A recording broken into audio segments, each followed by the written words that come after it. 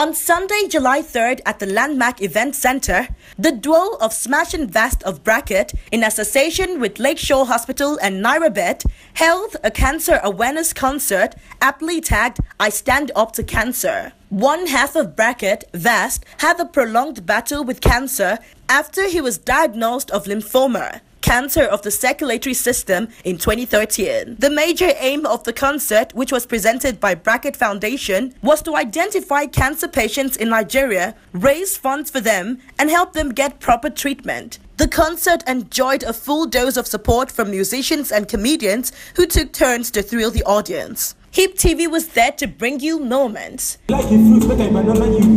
My money now, make I wahala you. I'm make I palala you. I need you, okay, one, make I banana you.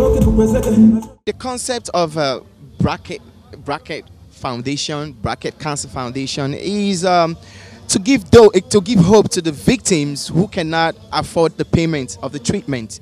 I mean that that's the concept, and uh, we believe that this is just the first edition. And we believe that from this first edition, the second edition is going to be bigger. From now, we're just trying to create an awareness that, okay, uh, Bracket Foundation needs support from people that, because there are lots of cancer patients out there. They need support, they need money, they need to be, you know, they, they, need, they need hope and was, so that that's that's the whole concept. That's the that's the that's the main purpose of uh, Bracket Cancer Foundation. In, in, Nigeria, especially, I think it's something people need to know about. And um, one thing about it, the, the, reason why I said I, I gave him the mic in the first place is as the whole inspiration came from him you know so he's actually an inspiration to other cancer patients because a lot of the biggest problem we have here in nigeria is stigma you know, the stigmatization makes a lot of them, they don't want people to know that they have cancer. And they actually believe that when people find out that they have cancer, people will start running away from them. So uh, they actually feel like it's a sexual transmitted disease. So the reason why we are here, and he's actually here bold enough to tell them, I've been through it, and and and I'm actually here to support you guys, is for them to that stigma to actually for them to avoid that stigma you know, a lot of us just take our health for granted. You know, I've seen uh, a couple of uh, our colleagues go down over the years, you know, and uh, everybody goes like, ah, so what's happening to this person? They never knew, you know, discovered those things late, you know.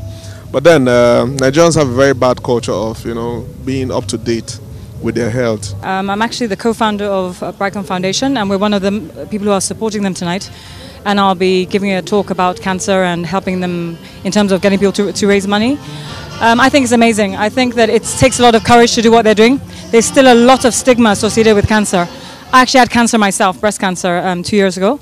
Um, thank God I'm cancer free now, but um, since then I'm an advocate for um, uh, for cancer in general. So I think it's I think it's amazing.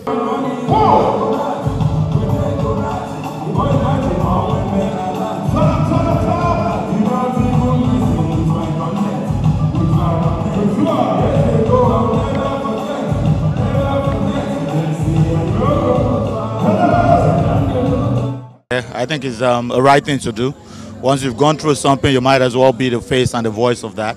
You know, and I think that's what um, Bracket as a whole, you know, especially Vast is doing with this. So it's a noble thing. It's, um, you know, let people, some people quietly going through this and thinking their life is over, understand that, you know, they might just be able to get over it if they, if they let people know, if they're aware of um, measures to be taken as well, you know. So I think it's a noble thing.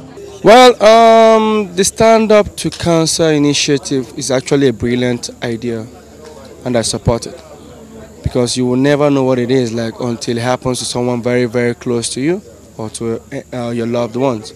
Uh, when it happened to Nwachukwu Vast of Bracket, uh, it was a very shocking one, and uh, I call him an, uh, an overcomer. But you know, it could happen to anybody. You know, so you know, my own advice is people go for regular checkups and uh, make sure you check yourself um, before you wreck yourself.